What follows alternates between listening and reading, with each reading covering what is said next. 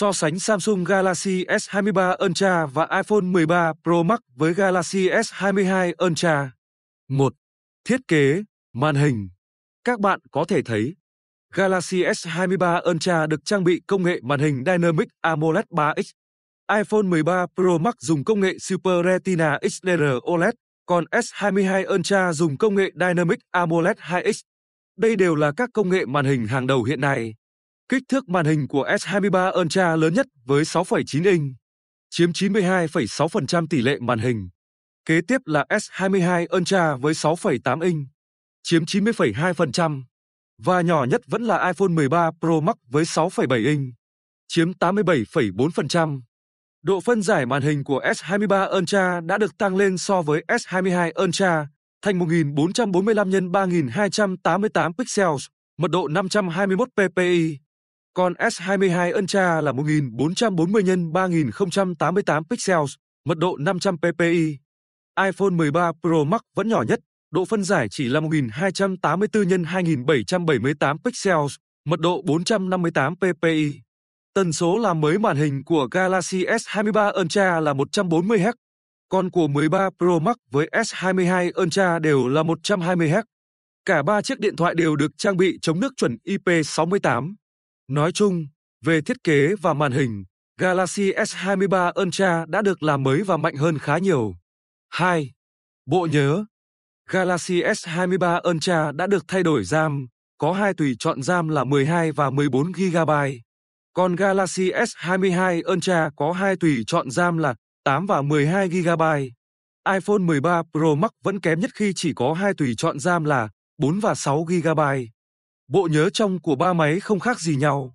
Đều có 4 tùy chọn bộ nhớ trong là 128, 256, 512 và 1024 GB. Cả ba điện thoại đều không hỗ trợ thẻ nhớ. Nói chung bộ nhớ trong thì không có gì khác nhau. Tuy nhiên RAM của Galaxy S23 Ultra đã được tăng lên mạnh hơn. 3. Hiệu năng Galaxy S23 Ultra và Galaxy S22 Ultra cùng được trang bị hai con chip. Snapdragon 8 thế hệ 1 được sản xuất trên tiến trình 4 nanomet và chip Exynos 2200 được sản xuất trên tiến trình 4 nanomet. Galaxy S23 Ultra có 2 GPU đi kèm là Adreno 750 và Split 920. S22 Ultra có 2 GPU đi kèm là Adreno 730 và Split 920. Còn iPhone 13 Pro Max chỉ trang bị một chip Apple A15 Bionic được sản xuất trên tiến trình 5 nanomet, đi cùng với đó là GPU, GPU Apple. Snapdragon 8 thế hệ 1 có điểm số Antutu 9 cao hơn 28% so với Apple A15 Bionic. Còn Exynos 2200 có điểm số Antutu 9 cao hơn khoảng 20% so với Apple A15 Bionic. Về mặt hiệu năng, S23 Ultra hầu như không có gì thay đổi so với S22 Ultra. Ngoại trừ việc thay đổi GPU đi kèm với chip Snapdragon 8 thế hệ 1. Đồng thời hai chiếc điện thoại này vẫn có hiệu năng mạnh hơn iPhone 13 Pro Max khá nhiều. 4. Camera Galaxy S23 Ultra có camera chính với độ phân giải khá cao, 200 megapixel, khẩu độ f trên 1.8. Của S22 Ultra là 108 megapixel, khẩu độ f trên 1.8. Còn 13 Pro Max là 13 megapixel, khẩu độ f trên 1.5. Độ phân giải camera siêu rộng của S23 Ultra cũng được tăng mạnh thành 60 megapixel, khẩu độ f trên 2.2. Còn Galaxy S22 Ultra là 12 megapixel, khẩu độ f trên 2.2. Camera siêu rộng của 13 Pro Max có cùng độ phân giải với S22 Ultra. Tuy nhiên nó lại có khẩu độ lớn hơn. Cả ba chiếc điện thoại này đều được trang bị camera tele. Tuy nhiên thông số khác nhau hoàn toàn. Galaxy S23 Ultra có độ phân giải 50 megapixel, khẩu độ f trên 2.2. Galaxy S22 Ultra có độ phân giải 10 megapixel, khẩu độ f trên 2.4. iPhone 13 Pro Max có độ phân giải camera tele là 12 megapixel, khẩu độ f trên 2.8. Galaxy S23 Ultra và S22 Ultra đều có khả năng zoom quang 10x, còn 13 Pro Max chỉ có khả năng zoom quang 3x. Xét về khả năng quay video bằng cụm camera sau, Galaxy S23 Ultra đã có sự thay đổi khi có thể quay video 8K ở 60 fps, 4K ở 60 fps, 1080p ở 240 fps và 720p ở 960fps. S22 Ultra cơ bản giống với S23 Ultra, khác một điểm là chỉ quay được video tối đa 8K ở 24 fps. Còn 13 Pro Max vẫn kém hơn khi chỉ có thể quay video tối đa 4K ở 60 fps.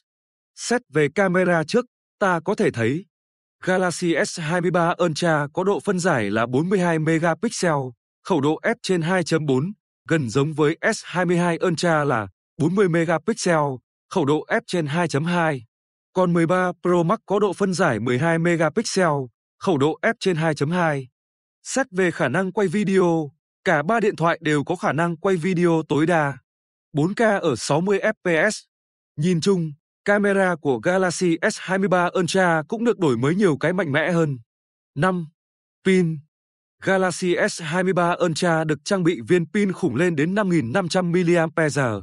Còn của Galaxy S22 Ultra và 13 Pro Max lần lượt là 5.000 và 4.352 mAh.